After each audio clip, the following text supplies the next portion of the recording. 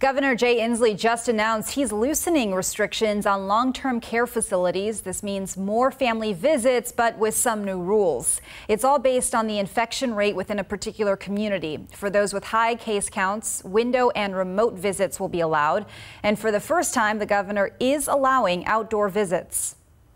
And this is good not just for the people in long term care, but for their relatives as well, because they're just as impacted as the inability to see their loved ones in the long term care facilities. The governor says social distancing and masking up is required throughout all of this.